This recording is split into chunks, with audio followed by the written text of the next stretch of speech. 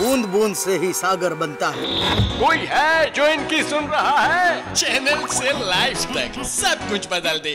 Remote control 12 नवंबर से हर सोमवार रात साढ़े दस बजे सिर्फ़ नाइन एक्स पर। और कहा?